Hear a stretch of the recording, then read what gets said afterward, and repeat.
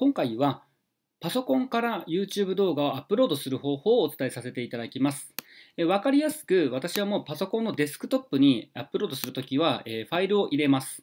で、えスマートフォンで撮った動画をアップロードしたいときとかは、スマートフォンから直接する方法もありますので、そちらの方は別の動画でお届けさせていただきます。えまた、えスマートフォンでアップロードするときはどうしてもやはり回線が遅くなったりとかしますので、動画で撮スマートフォン、スマートフォンで撮った動画などを一度メールなどのパなメールなどで転送してパソコンに入れて、そしてここから移動させるっていうことが、えー、すごく楽かなというふうに思います。では、パソコンの方から動画アップロードする方法をお伝えさせていただきます。えパソコンで YouTube に、え、入っていただきまして、YouTube にログインした状態でお願いいたします。その後はここの、このビデオボタンですね。こちらの方を押していただくと、動画アップロードとライブ配信開始っていうものがあります。で、動画のアップロード、こちらを押してください。はい、そうするとこのようになっております。で、公開設定なのか限定公開なのか非公開なのか公開予約、いろいろとこちら選べます。今回は公開で設定いたします。で、えー、選択するときはここをボタンを押していただいて対象のファイルを選択するという方法もありますし、そのままドラッグドロップでアップロードすることもできます。今私はこちらの方で、えー、こちらのファイル名がそのままタイトルの方になりますので、ここをもし変更するときは変更をしていただければと思います。例えばここの部分でも解説と入れたりとかすることもできます。で、こちらの、えー、説明文とタグに関しては、こちらの方は私の方はデデフォルト設定で作っております。デフォルト設定の作り方に関してはまた別の動画で、え、お届けしておりますのでご確認ください。はい。で、今、もこちらの方でも何パーセント出てきてますので、こちらの方でアップロードがいっているということです。では、実際に説明文のとこ、ちょっとこちらの方時間あるので入れていこうかなと思います。えー、メルマガ配信スタンドのマイスピーとペイパルを連携させる方法を解説いたします。申し込み時に、え申し込んだ後、すぐにペイパルに、え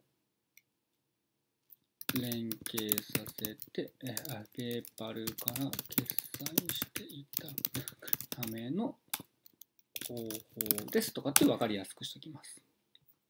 で、えー、あとですね、えー、他の動画でもちょっと話はしてるんですけど、ハッシュタグ、ここをつけてみてください。ここで、マイスピード。関連あることだけですね、入れてくださいね。えー、 PayPal、連携と。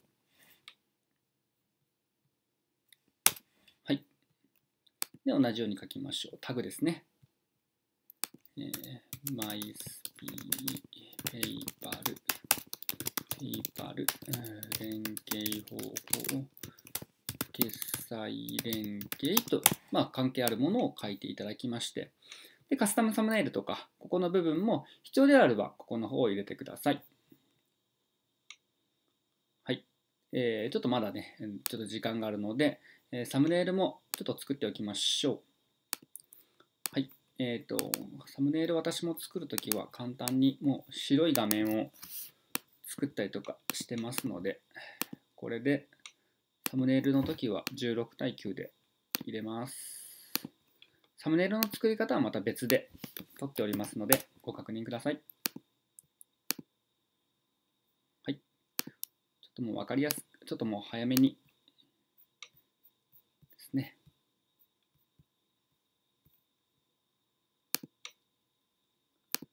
よ何でもいいんですけど。ちょ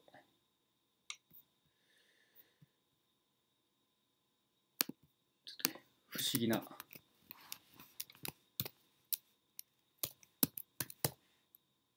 マイスピーってこれだったかな。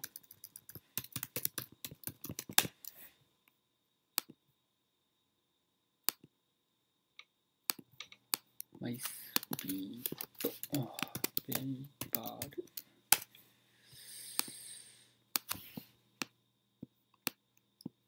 わかりやすくですね。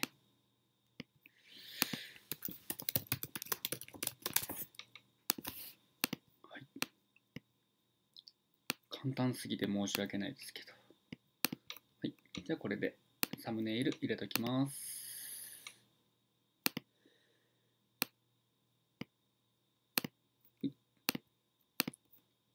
あ、まだなってないですね。カスタムサムネイル入れたいときはここですね。カスタムサムネイルを押していただいて、今作ったカスタムサムネイルを選択していただくと、ここ入ることになります。で、ここ公開ボタンですね。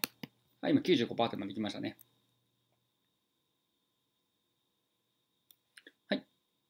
そうすると、はい、そうするとここに今もう URL ができたら、えー、しっかりと、えー、YouTube に動画がアップロードされたということになります。